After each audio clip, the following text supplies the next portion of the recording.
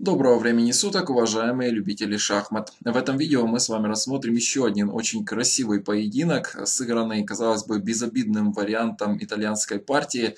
Дело было в Канах в 1996 году. Белым играл сильный хорватский гроссмейстер Дражен Сермек. Ну а черными его коллега по гроссмейстерскому званию, который, видимо, тогда еще пока его не достиг, но был очень сильным международным мастером, Альберто Давид. Шахматисты действительно здесь разыграли настоящий спектакль. Эта партия совершенно не шла в одни ворота, и Альберта, Давид и Дражен Сермек создавали свои комбинационные удары буквально обменивались ими в Метельшпиле, но выиграл более маститый соперник. Итак, Дражен Сермек здесь играл белыми, пошел Е4, далее Е5, конь F3, конь C6, слон C4, конь F6. Попытка завлечь белых в дебри защиты двух коней, но белые вежливо отказываются ходом D3. Далее слон C5, конь C3. Вот так вот играет Сермек, он белыми довольно часто избирал это безобидное продолжение. После хода D6 получается симметричная позиция, так называемый вариант тишайшая игра итальянской партии. Слон g5, атака каналя и черные играют h6. Белые в этой ситуации размениваются на f6, коня на d5 ставят с темпом, нападая на ферзя и пешку c7, поэтому ферзь d8 и c3. Идея белых продвинуть пешку на d4, прогнать слона и получить преобладание в центре. Взамен черные получают преимущество двух слонов. Рокировки, далее a6.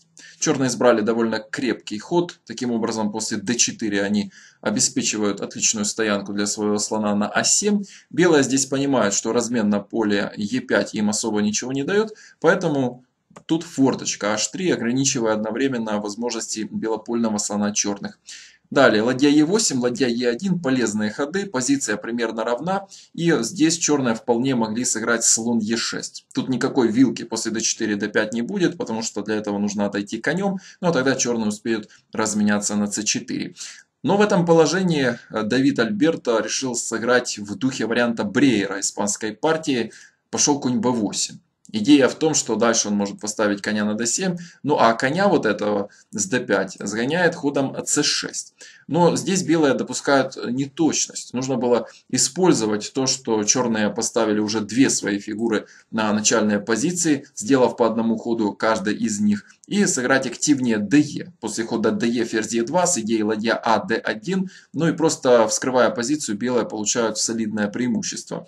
Но Сермек сыграл попроще, ферзь D3, и задумка черных удалась. C6 сыграл Альберта, далее конь Е3 и здесь очень красивый ход d5. Оказывается, создавая двойное пишечное напряжение в центре, черные хотят здесь сделать вилку после хода ЕД. Но сейчас действительно слон под ударом. Если просто отойти, то в дальнейшем будет взятие на Е4, взятие ЕД, и позиция вскрывается в пользу черных. Поэтому белые сами бьют ЕД и Е4. Вот эта тактическая идея, вилка пишечная в центре – конечно же, ведет к выигрышу фигуры со стороны черных, но взамен белые получают как минимум две пешки. Ферзь d1 отошел Сермек, тоже поставил своего ферзя на начальную позицию, но после хода ef вывел его на f3, где он посматривает на поле f7. И в данной позиции черным нужно было вернуть ладью обратно на f8, надежно защитив пункт f7 и стоящую на нем пешку. И после хода конь f5 просто забрать этого коня. После ферзь f5 cd, слон d5, конь c6 потихонечку раскручивать свои фигуры. Есть у белых тут некоторая компенсация за отданный материал, благодаря тому, что у них, э, кроме двух пешек за коня, есть еще инициатива по белым полям. Но все-таки объективно черные здесь со временем должны получить практически выигранную позицию. Но хуже сыграл здесь э, Альберта и пошел cd. В этой ситуации из трех взятий на d5 лучшим, конечно, является слон бьет d5 так как именно этот ход создает угрозу взятия на f7. Черные играют ладья e7, прикрывая и пешку на f7, и пешку на b7, которая также была под ударом обратной батареи белых. Но белые играют здесь конь f5, нападая на ладью. Оказывается, что в этой позиции брать на e1 совершенно нельзя. После взятия на e1 ладья бьет e1, черные не избавились от ладьи белых по вертикали e, Ну а катастрофическое отставание черных в развитии не дает им возможности даже уравнять положение. Например, если здесь сыграть конь c6, то белые просто разносят позицию черного короля жертвой коня, шах. На ход gh мы играем ферзь бьет f7, король h8, ладья e8. Приходится забирать, ну и дальше ферзь и слон белых – просто матуют ферзь f7 и ферзь g8. Ну а если сыграть упорнее, то есть коня на f5 забрать слоном, то тогда ферзь бьет f5, ферзь d7 в попытке защитить пешку на f7. Но белые все-таки забирают на f7 и после взятия ферзем следует ладья e8. У белых всего ладья и слон против ферзя, ладьи, слона и коня черных, но белые здесь получают выигранную позицию. После король h7 слон бьет f7, очень неудачное положение черных фигур на ферзевом фланге позволяет белым отыграть еще одну из этих фигур. Например, после g5 слон d5 с простой угрозой слон бьет b7. Черные ничего не могут сделать. На ход слон b6 забрали. И на ладья a7 точнее всего сначала дать шах, а потом забрать на b8. В итоге у белых абсолютно выигранное окончание. Целых 4 лишних пешки. Но в этой позиции черные сыграли сильнее ладья c7. Надеются все-таки раскрутиться. То есть вывести фигуры ферзевого фланга, все-таки одна из них является лишней. Но посмотрите, что делает хорватский гроссмейстер. Он отдает второго коня с идеей пойти ладья e8. Ну, понятно, что тут на d6 нужно просто забирать. Если пойти слон e6, то есть красивый ход ладья бьет e6.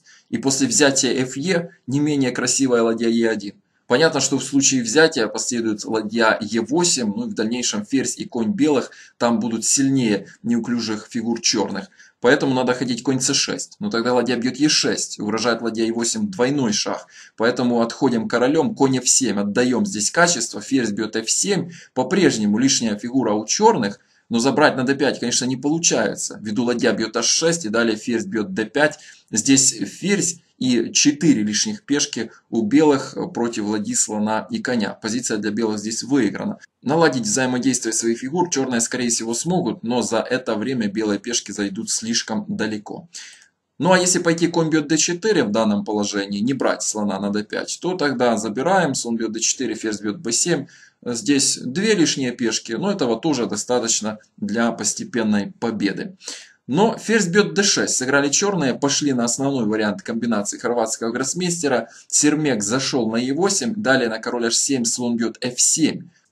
В случае взятия на f7 ладьей белые забирают ферзем. Сейчас у черных три легкие фигуры за ладью и несколько пешек. Но проблема в том, что эти фигуры абсолютно не развиты. Например, на ход слон d7, уходя из-под боя белой ладьи можно сыграть ферзь g8 и на ход король g6, ладья а e1. Сейчас белые хотят на e6 поставить одну из своих ладей, что в итоге приведет к выигрышу ферзя. И белый ферзь будет противостоять трем очень неуклюжим фигурам на ферзевом фланге. Белые там побеждают.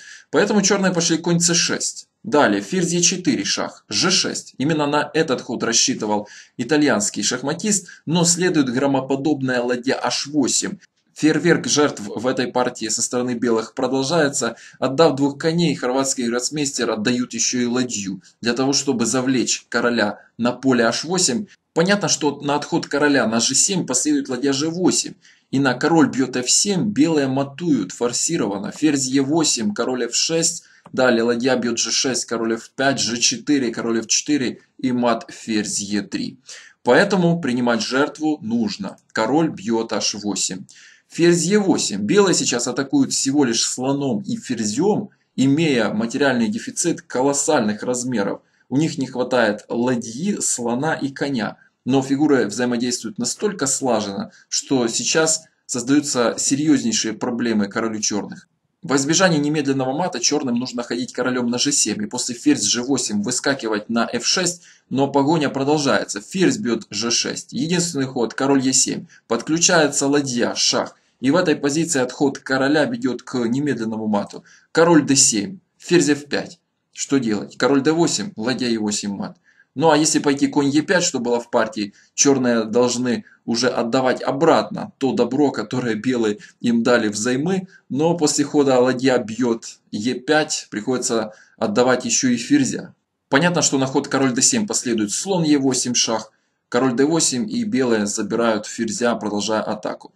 Но здесь последовало ферзь бьет Е5, ДЕ. Даже после таких колоссальных жертв со стороны черных, у них формальное материальное преимущество, но по-прежнему их фигуры сгрудились на ферзевом фланге. Две из них пока вообще не сделали ни одного хода в этой партии. Но если пойти, например, b5 с идеей фианкетировать белопольного слона, то белые очень слаженными действиями ферзя, слона и пешки матуют короля черных. Ферзь f6, король f8, Далее слон Е6, скрытый шаг, король Е8, ферзь Ж6. И черные, как бы они ни ходили, в итоге получают мат. Король d8, ферзь g8. Далее ферзь f7. Король вынужден отойти на d8 и мат ферзем на f8. Ну, партия продлилась всего один ход. Ладья c6 пошли черные. После ферзь g8 создается угроза немедленного мата на поле e8. И черные не нашли здесь никакой возможности продолжить сопротивление и просто сдались. Действительно, в этой позиции у белых в атаке всего ферзь, слон и пешка, но черные никак не могут раскрутить свои фигуры, чтобы сберечь их и в то же время защититься от мата. Например, в этой ситуации черные могли пойти слон d7, но при этом забирают белые ладью на а8, далее взяли и ферзь бьет а7. Эта позиция, конечно же, для белых безнадежна. Примерно такие варианты убедили Давида Альберта в том, что после хода ферзь g8 пора уже сдаваться. Вот такая очень красивая партия в тишайшей итальянке. Два довольно сильных гроссмейстера разыграли настоящий шахматный спектакль. Ну и, конечно, жертвенная феерия со стороны Дражина Сермека здесь заслуживает всяческого внимания. Надеюсь, что данная партия вам понравилась. Не забывайте ставить лайки, пишите свои комментарии, подписывайтесь на канал Шахматы для всех. Спасибо за внимание. До свидания.